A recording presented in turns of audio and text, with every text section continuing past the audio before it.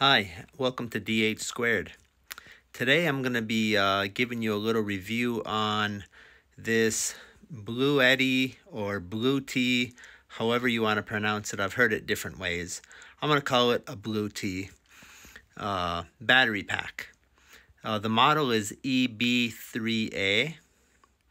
And what it is, is it's a 268 watt hour battery pack with a maximum power output of 600 watts. Although you can go higher than that, and I'll uh, I'll talk about that a little bit later. There's a little bit of trickery that you can do in the app to get a higher wattage without uh, tripping it. Uh, more than likely, you are not going to be using more than 600 watts because even at 600 watts, this thing isn't even going to last 30 minutes. So, just for short bursts of high power, it would work out pretty well, but it's really not meant to be delivering high power for long periods of time. So, uh, let's get on to this. So, in order to turn the display on, you just push any of the power buttons. So there's a power button here. That's to turn on all your DC. So you have like your standard cigarette lighter port here. Then you have a couple of other types of DC outputs. You have a couple of standard USB A's and a USB C that's limited to 100 watts. So uh, when I first pushed this power button, all it really did was turn the display on. You want to push and hold it for like a second and let go of it to actually get the output to turn on. So now you can see this green light is on and you can see here that it says DC. So that turned on the DC output. The same goes for the AC output. So let's just push and hold that for a second, let go. You can see here that it turned on the AC output. So right now both outputs are active, although nothing's plugged in. What you have down here is your power input. So it just uses a standard three-prong connector like you'd have on a computer or a monitor. It just plugs into there. There's no power brick necessary. That's built into the unit. This is to reset the uh, basically a little breaker that's inside of there. And then this is to input uh, a solar panel. So you can input here your solar. So when you're charging, it's charging at around, it'll charge at up to about 350 watt uh, watts input. Um, unless you also have your solar plugged in. Solar alone would be 200 watts. But if you have them both plugged in, it'll top out at about 430 watts. So with that being said, you can charge this for the most part in about under two hours, really, no matter how you're doing it. Unless you're doing solar, that might take a little bit longer. So uh, this model also offers a light here, two different modes or two different brightnesses, and then an SOS mode. Um, on top of it, you have a wireless charger. So you can set your phone on there and charge it. Then you have this carrying handle. So back to this. Now let's um, let's plug in my computer. So I have a an Apple computer. It plugs off of a, it runs off a USB-C. So let's go ahead and plug that in and see what kind of draw we get. So the it just started up and my computer is only drawing around 20 around 20 watts or so. Uh, it's nice having that output. What you're seeing here now is the battery is charged at, at, to 100% and at the current output this is how much time the battery would last. So at what we're currently outputting, this battery will last for over nine hours. So it's kind of nice to see, you know, how much, you know, how much time you're going to have uh, when you have uh, anything plugged into it. Okay, so let's turn the display back on. So here you see the computer charging. So let's unplug the computer. And now let's plug in a lamp that I have into one of the AC ports. So I have the lamp now plugged in. Let's go ahead and turn it on and see what kind of power draw we have. Uh, it's showing zero, which seems a bit unrealistic, but it must, it's an LED lamp, so it must just be really efficient. So that's to last for 26 hours if we had we could run this lamp before this battery would die. If we go ahead and turn it off, yeah, it really didn't change anything. So that must just be a very efficient LED lamp. Okay, so the next thing I'm going to try is I have a Dyson fan. We're going to plug that in and see how that uh, how that works out. So I have that plugged in. Let's turn on the display. And let's turn that fan on.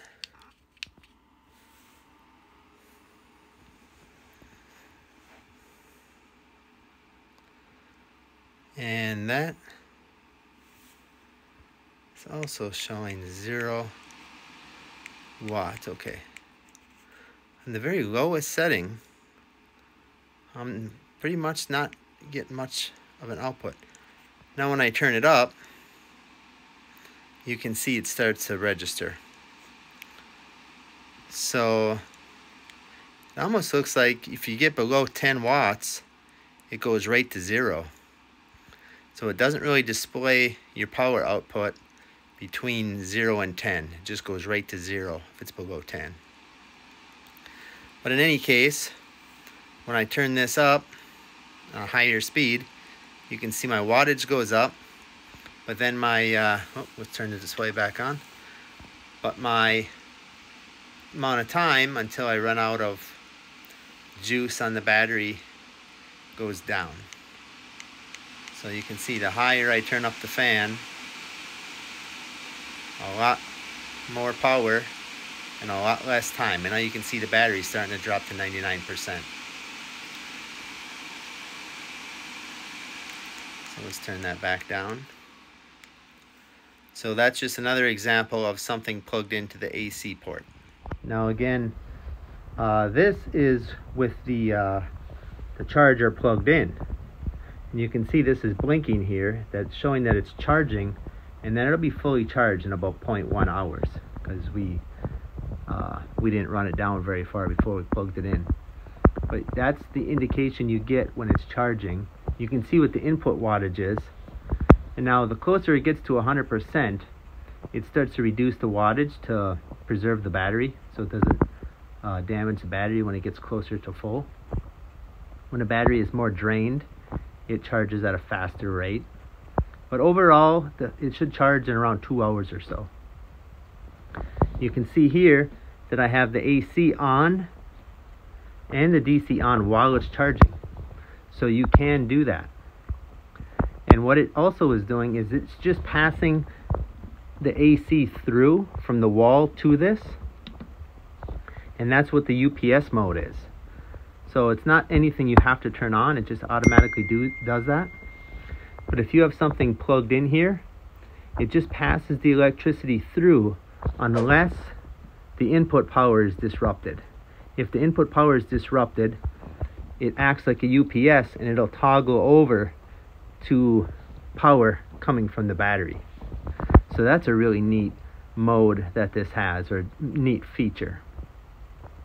So next up, I'm going to be showing you a little bit about the app. So this has an app that you can control this and see the status of it without having to connect to Wi-Fi or anything.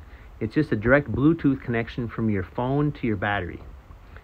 So, so this is the app, which is showing what you have going on here. So in the upper left-hand corner, that would be the input that you'd be getting from your solar panel.